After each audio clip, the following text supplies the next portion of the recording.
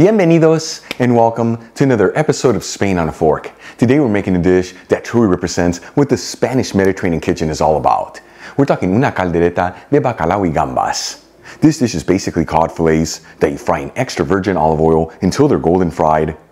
And then you finish them off in a delicious broth that's filled with sauteed vegetables, spices and herbs, and some shrimp that truly take this dish to the next level. Folks, we're talking super easy to make, the simplest ingredients, and all done in a little over 30 minutes. All right, let's just dive right into this. I'm gonna heat a large fry pan with a medium heat. You can use a stock pot here if you like as well. And add in a quarter cup of extra virgin olive oil, which is 60 milliliters.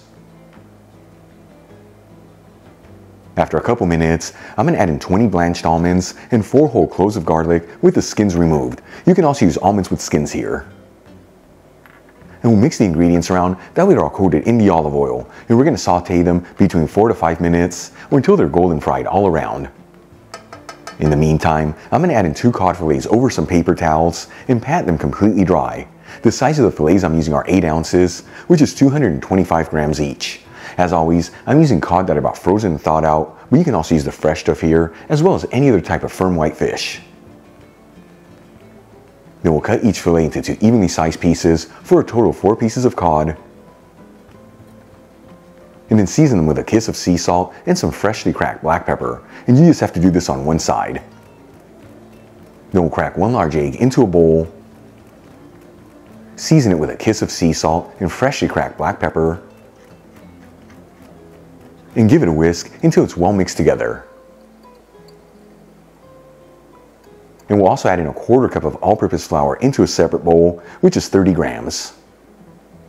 And for the final step, we'll coat our pieces of cod, first in the all-purpose flour, and then into the egg wash.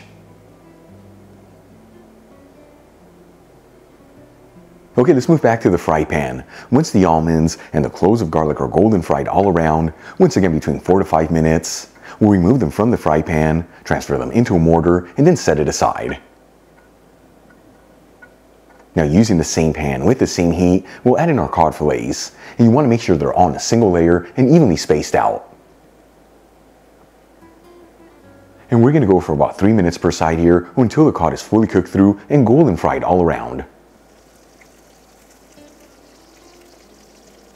After about 6 minutes, and the cod fillets are golden fried and fully cooked through, we'll remove them from the pan and set them aside. Now once again, using the same pan with the same heat, I'm going to add in one medium-sized onion that I roughly chopped, 4 cloves of garlic that I thinly sliced, and 2 carrots that have been peeled and cut into small bite-sized pieces.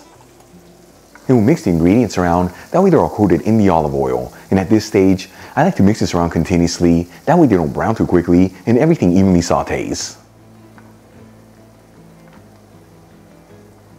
After 3 to 4 minutes and the veggies are lightly sauteed, I'm going to add in 1 teaspoon of sweet smoked Spanish paprika, which is 2.5 grams, and half a teaspoon of dried thyme, which is half a gram. And we'll give it a quick mix until it's well mixed together. As always, the Spanish paprika I'm using is from Kiva. Link where you can get some in the description box below, and if you buy it from that link, you'll also get 25% off your order.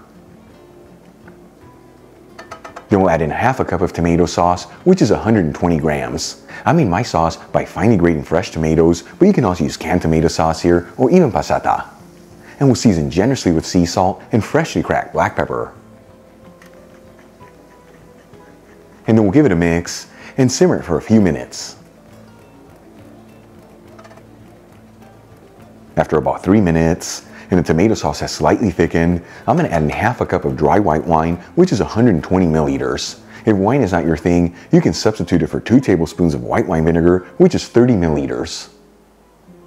And once again, we'll give it a mix and simmer it for a few minutes. In the meantime, let's move back to the mortar with the fried almonds and garlic. I'm going to add in 2 tablespoons of chopped fresh parsley, which is 8 grams, and just a kiss of sea salt. And using a pestle, we'll pound down on the ingredients until we form a paste-like texture. You can also use a food processor for this step, NutriBullet, or even a handheld blender. After simmering the wine between 3 to 4 minutes and the alcohol has cooked off, we'll add in the almond and garlic paste and 2 cups of fish broth, which is 480 milliliters. You can also use vegetable broth here or even chicken broth. Either way, link where you can get the Spanish fish broth I'm using in the description box below. And then we'll turn it up to a high heat and give it a gentle mix until everything's well mixed together.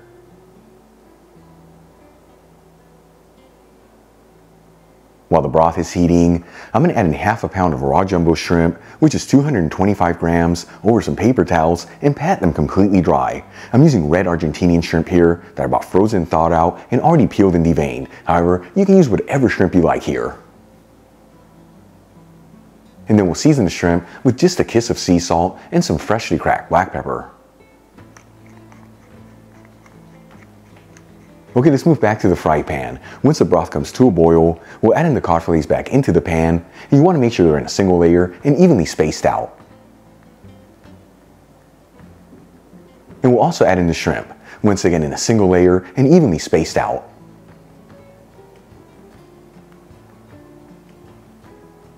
And then we'll place the lid on the pan and lower the fire to a low medium heat. And we're going to simmer this between 2 to 3 minutes. This is enough time for those pieces of cod to be heated through and for those shrimp to be perfectly cooked. After 2 to 3 minutes and all the seafood is beautifully cooked, this dish is ready to go. I'm going to remove the pan from the heat and you can serve this directly out of the pan or even transfer into some shallow bowls. Either way, make sure to top it off with some chopped fresh parsley. Check it out folks, una caldereta de bacalao y gambas, a Spanish seafood stew with cod and shrimp. Beautiful presentation, so easy to make, and all done in a little over 30 minutes. Let's give it a try and see how it turned out.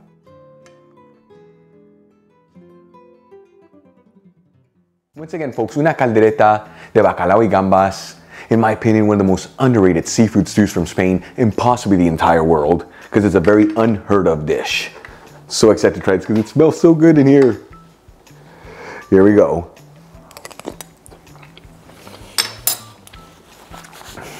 Oh my goodness, we're in for a treat today. first things first, wait that bite. It instantly fills you with so much goodness. You have those sauteed vegetables with the spices and herbs, the seafood beautifully cooked, and that almond and garlic mixture, taking this to the next level. You saw this so easy to make, done a little over 30 minutes. Give it a try at home. Serve it next to a crunchy baguette to mop up all that goodness. And of course, a Spanish white wine, more specifically from the region of Alicante, you can have yourself an instant trip to the Spanish Mediterranean coast. Real quick before I go, a shout out to a couple of my patrons, Juan Iturri, Rob Haskins, and Daniela Brandt. And guys, thank you so much for being patrons of Spain on a Fork. You know how much I appreciate you. If you. Enjoyed today's video, hit that like button, leave me a comment below. And if you're not subscribed, don't forget to smash that subscribe button and click on the bell icon. That way you can get notified every time I release new content and to become a part of the Spain on a Fork family. Till the next time, hasta luego.